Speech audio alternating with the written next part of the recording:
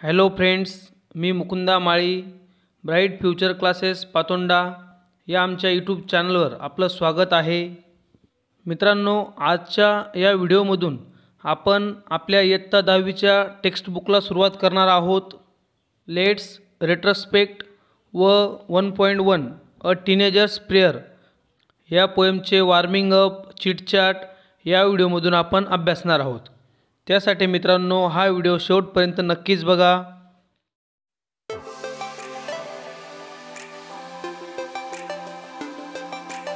Welcome back friends let's retrospect सिहावलोकन करूया question number one from the word grid below pick out words related to language study grammar or vocabulary and write them against each of the clues मित्रांनो आपल्याला या प्रश्नामध्ये पुढे दिलेल्या शब्दजाळ्यामधून भाषेच्या अभ्यासाशी संबंधित व्याकरण व शब्दसंग्रह संबंधित शब्द बिनचूक ओळखून ते आपल्याला दिलेल्या कुठ प्रश्नासमोर लिहायचे आहेत.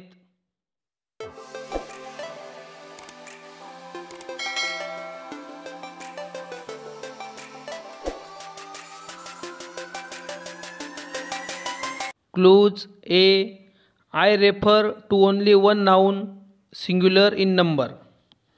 B. I qualify a noun adjective. C. I say more about an action adverb. D. I am a naming word noun. E. I can replace a naming word pronoun. F. I I accompany nouns or pronouns and show their relation to another word preposition. G. I am a sentence with a subordinate clause complex sentence. H. I am an action or being verb. I. I am an affix attached before a word prefix. J. I sound the same but differ in spelling and meaning.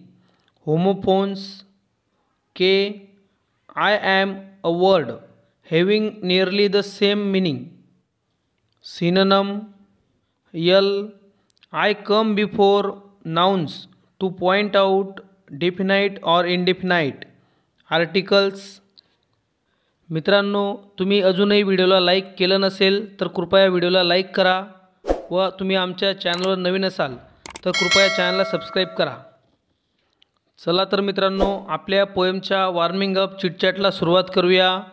One point one a teenager's prayer warming up chitchat question number one form groups of five to six and discuss give a rating of one to five to each of the following when you have take important decisions what do you generally do आपल्याला पाच ते सहा विद्यार्थ्यांचे गट करून पुढील मुद्द्यांच्या पसंती क्रमानुसार त्यांची प्रतवारी ठरवायची आहे.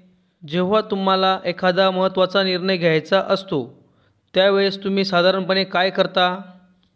A. Consult parents or elders. Two. B. Contact friends for advice four. C. Pray to God for guidance five. D. Think deeply in silence. 1 e. Ask your teacher for help. 3 f toss a coin to decide. 6 question number 2 in poetry very often there are lines in which the poet seems to talk directly to an absent person an abstract idea or things or object.